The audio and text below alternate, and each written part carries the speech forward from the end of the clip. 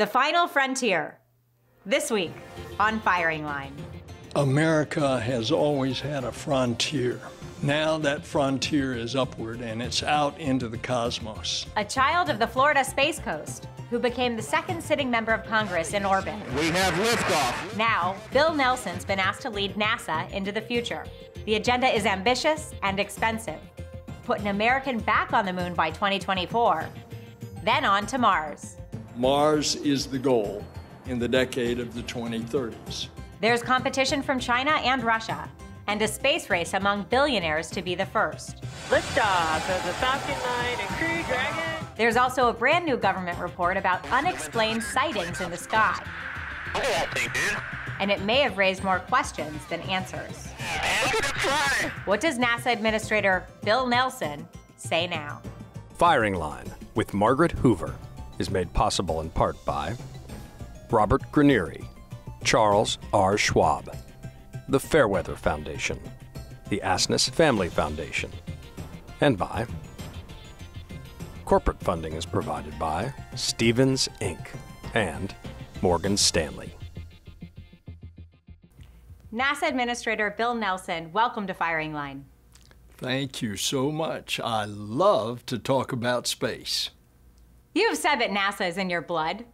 You grew up on the Space Coast and became the second sitting member of Congress to travel into space aboard the Space Shuttle Columbia in 1986. But a decade ago, NASA seemed to drift in space. The Space Shuttle program was ending, and the US had no means of reaching space. Compared to 10 years ago, Senator, where does NASA stand today? Well, it was specifically 11 years ago that Kay Bailey Hutchison of Texas and I wrote the bill that put NASA on the course that it's on a dual course. Uh, one course, commercial companies that NASA would hire, specifically the delivery of crew and cargo to the International Space Station. And then the other course, NASA, to get out of low Earth orbit and go explore the heavens. And that's the course that we're on. Now, in that period of time, the space shuttle was coming to an end. After the destruction of Columbia, it was strongly encouraged to shut it down and come up with a design that was more safe for human life. And that's what we have now. And you'll see that in the largest rocket ever will launch at the end of this year. Uh, the Space Launch System with its spacecraft, Orion, on the top. I'd like to ask you about the SLS Space Launch System, which is NASA's enormous launch rocket, a project that you have supported going back to 2011 when you were in the United States Senate. Let me ask you the Office of Inspector General says that that project is costing billions more than it was supposed to and is at least two years behind schedule. As NASA administrator, your job now is to keep the project on schedule and within budget. How are you going to do that? And more recently, it's just been delayed further because of a protest of the bid that NASA earlier uh, this year had awarded to a competition of the lander, a commercial lander. So that's another delay of 100 days. And then, on the basis of what uh, the General Accounting Office decides, so you have these delays. But the fact is, once GAO decides, we're ready to go. And uh, we're going to push uh, full steam ahead. The, the goal was uh, to launch Artemis in 2021 and then ultimately land astronauts on the moon by the end of 2024. So, is that going to stay on schedule or will that be delayed? We're going with crew in 2023. And then, depending on this competition for a lander in the commercial sector, then that's going to determine when we actually land on the moon with humans. And uh, that's what we've got to keep on track and we've got to try to speed up. you said you're ready to go as soon as the GAO, the Government Accountability Office, says so.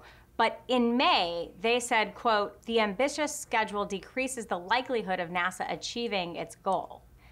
So what gives?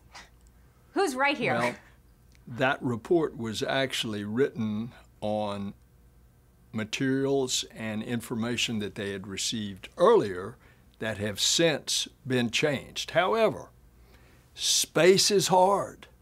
Space is risky. And when you have human life in it, uh, it's important that you do it right. The entire space program, all the way back from Project Mercury, look at all the delays there. Uh, after the Apollo 1 fire, that we lost three astronauts, they had to redesign the uh, spacecraft. You've seen these delays as a result because space is hard. How confident are you there will be a woman on the moon in 2024? Well, don't hold to that. Uh, I've said space is hard, that's the goal. So, whenever that is, it will be the first woman and the next man. And in the course of all the landings, will also be the first person of color. And, so there's um, a chance it will be delayed from 2024. We'll see. That's the goal. Listen, in, in 1968, astronauts on the first manned mission to the moon, the Apollo 8, sent back a photograph of the Earth, which gave us a new perspective on our planet, and it even helped propel the environmental movement towards the first Earth Day in 1970. One of your first interviews, you mentioned that climate change would be a top issue for you as the NASA administrator. How will NASA's new Earth System Observatory help protect the planet? It's five missions over the next decade. Uh, it, once on orbit, is all going to talk to each other as they measure every detail about land, the seas, ice, and the atmosphere. And that is going to give us a three dimensional picture of the Earth's environment and what are the changes and what we project in the future that is uh, already in the scientific community is, is just being greeted with extraordinary excitement because if you want to mitigate climate, you've got to measure it. And that's what NASA is going to do. The Mars helicopter Ingenuity, which cost a relatively inexpensive $85 million to build and operate, just went on its ninth flight. It was about one two hundredth of what the SLS rocket, which hasn't flown yet, has cost so far. Ingenuity has been so successful that NASA extended its mission for at least another 30 days. Should NASA focus even more on smaller missions like this that it's so good at? Well, ingenuity is the result of a very large mission and a very successful one. Uh, we have been putting uh, landers out on Mars since the 1970s. And so the one that is there now is the size of a Volkswagen, uh, the rover. And so they got this idea of attaching this little helicopter to it just to see if a helicopter could fly in an atmosphere that is 1% of the density of Earth's atmosphere. And lo and behold, it worked.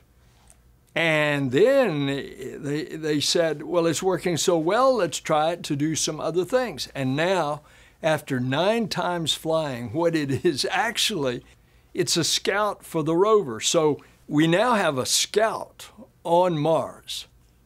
It's extraordinary to watch. You know, William F. Buckley Jr. spoke to astronaut Alan Shepard in 1973, two years after Shepard walked on the moon, in a program that was entitled, Was It Worth It? Watch this. I think we have the first amount of data back from the lunar surface that's going to tell us a tremendous amount of the geology of the moon, its relationship to the geology of the Earth, how the two are related, how we can better determine what's going on on the Earth. These are the kinds of things that we have to assess in the next five or six years.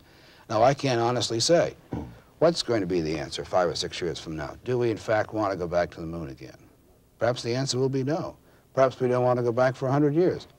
If you say, should we say, all right, in 1985, automatically fund $3 billion annually for the second expedition to the moon, I would say I couldn't give you an honest answer. If you had to force me to make a decision now, I would say no, let's wait five years. And uh, would that reasoning apply to, to Mars? Oh, I think so, yeah. Why is now the time to return to the moon and to go to Mars? Because in going back to the moon, we're going to learn how to go to Mars. Now, as a practical matter, we're not going to be there until late in the decade in the 2030s. So, as we get prepared to go to Mars, first of all, how long is it going to take you? It's going to take you eight to 10 months to get there. Once you get there, you're going to have to stay a minimum of a year because the planets have to come back into realignment where it's closest so that you can get back to Earth. So we're going to learn habitats and protection and systems and new technology on the moon that will enable us to go to Mars and to stay as long as a year in order to be able to get back to Earth. A year ago, the Pentagon officially released three videos that were already circulating online. The videos were from 2004 and 2015, and they showed unidentified objects on radar performing in uncharacteristic ways. My gosh. They're all going against the wind. The wind's 120 knots from the west. Look at that thing, dude. The director of national intelligence has just declassified a nine page report uh, that is a preliminary assessment of UAPs, unidentified aerial phenomenon, what we all used to call UFOs.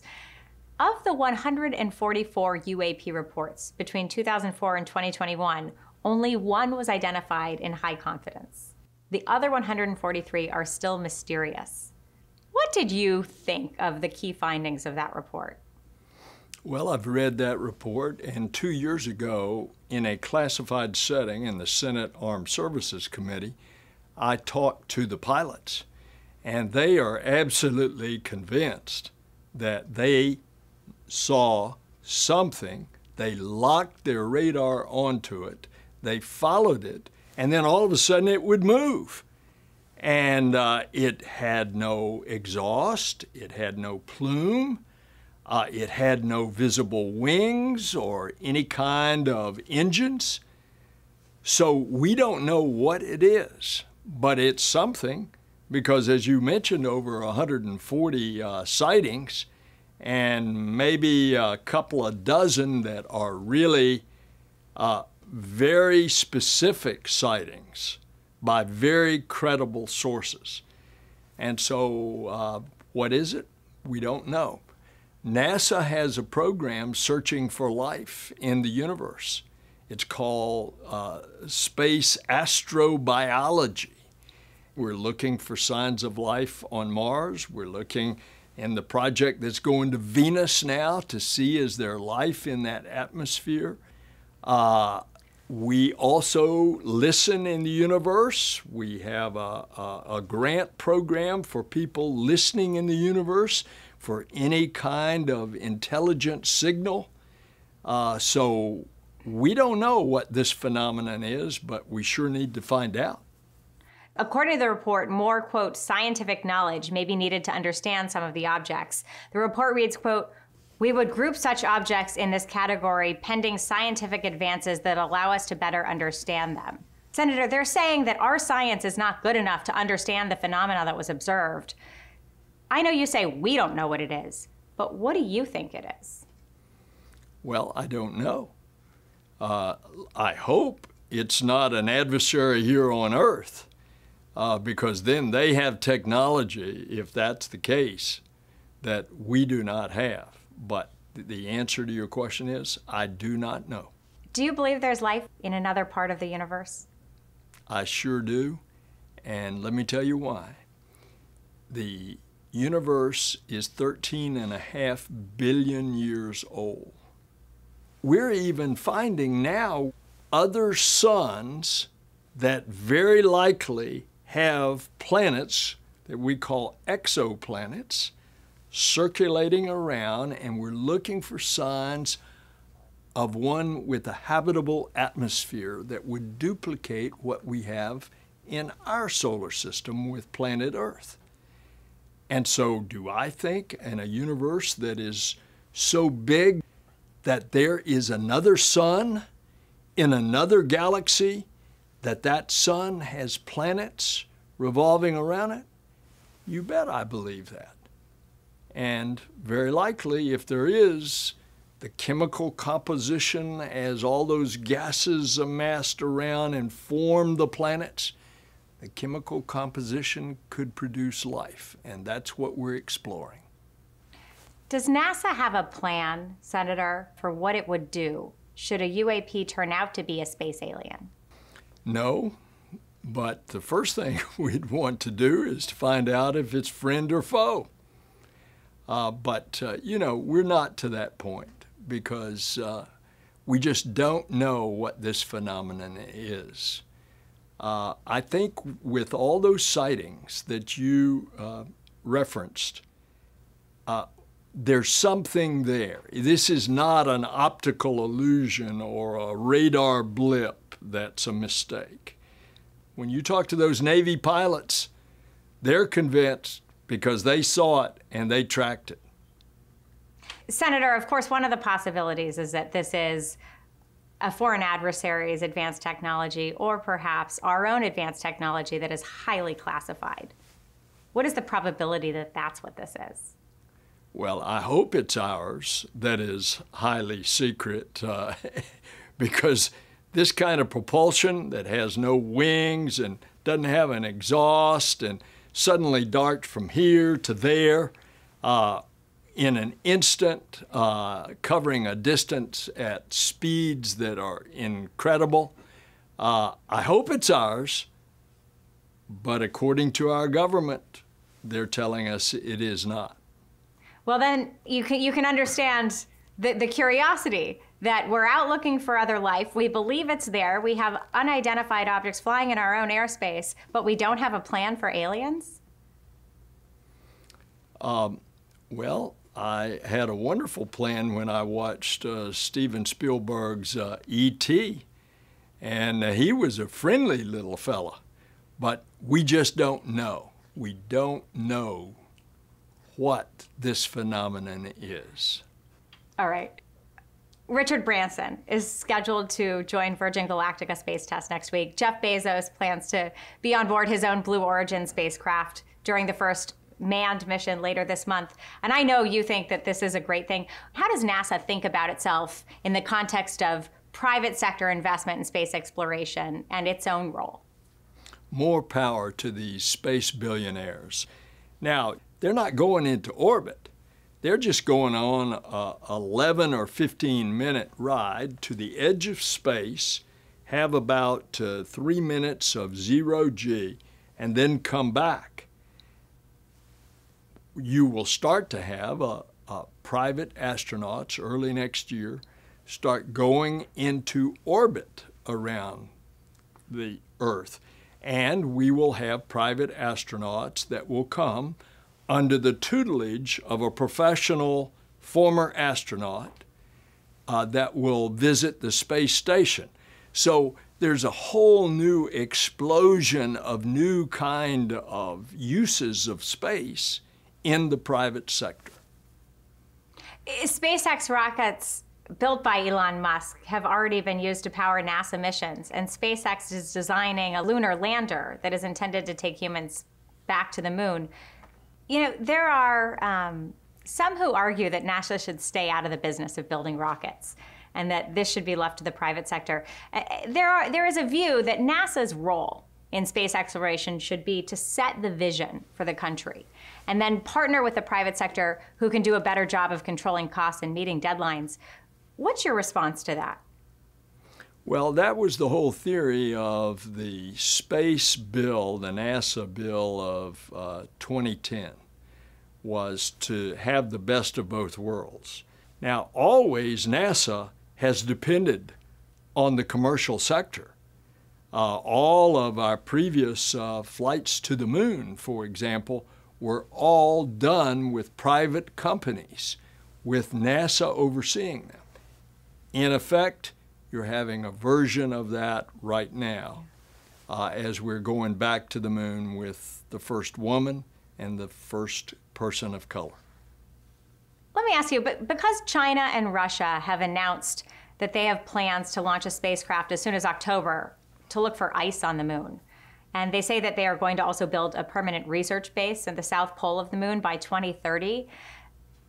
It begs the question of are we entering an age of a new space race? Senator? Personally, I think we are because I think the Chinese have a very aggressive space program just within the last six months. They've landed on Mars. They're only the second nation to have landed on Mars. Now, we've been on the surface of Mars since the 1970s, but they're the second. Look what they've done just uh, a few weeks ago.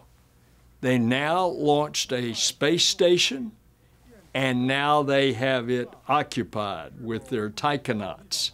And this announcement that they're partnering with Russia, that should give us pause as well, because Russia has been our partner when they were the Soviet Union in 1975 when we had Apollo Soyuz, and they have built the International Space Station with us. And my opinion is that they will continue to be our partner on the International Space Station. But we've got to watch uh, a new space race with the Chinese government. Is, it, is a space race good for innovation and exploration? Competition is always good. The, the critics would say, even with Russia and China teaming up, they really don't present enough of an existential threat for us to focus as uniquely and singularly as we did on the space race in the 60s and 70s?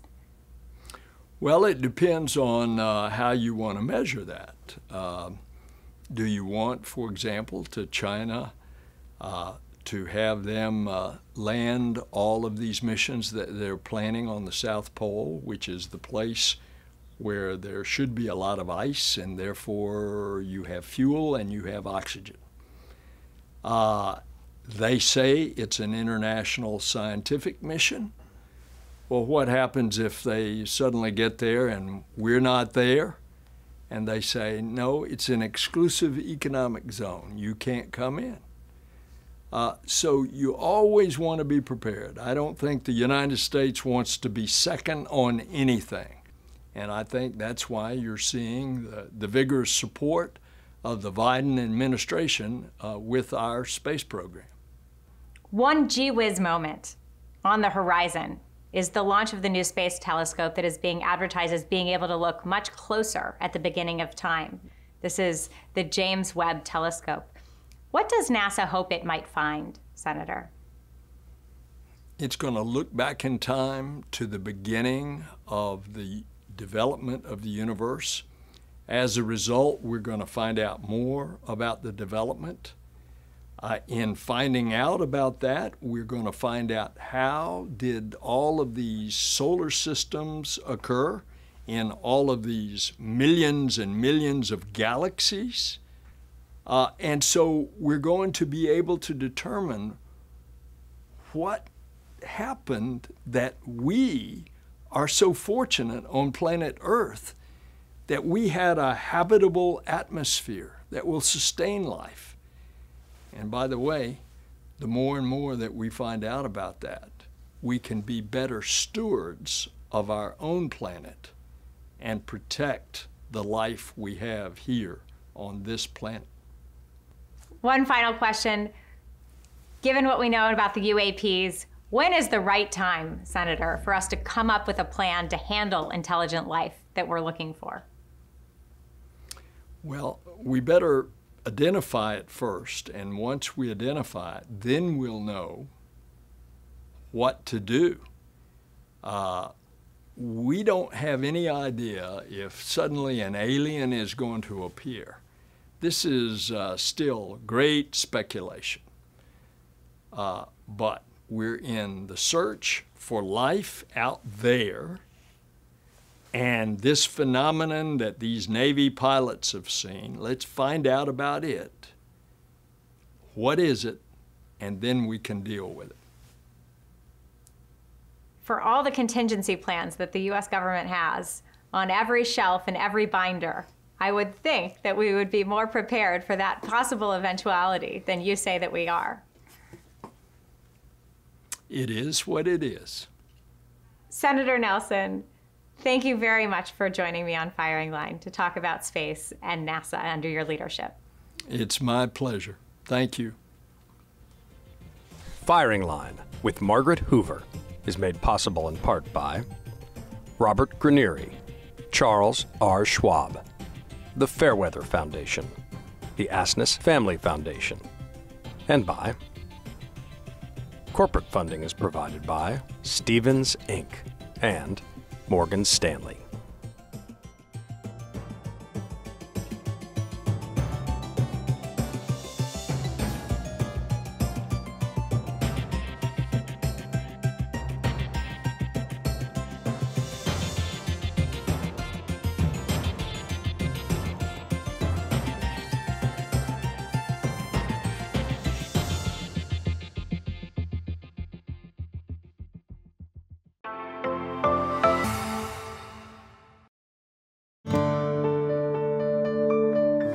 Watching PBS.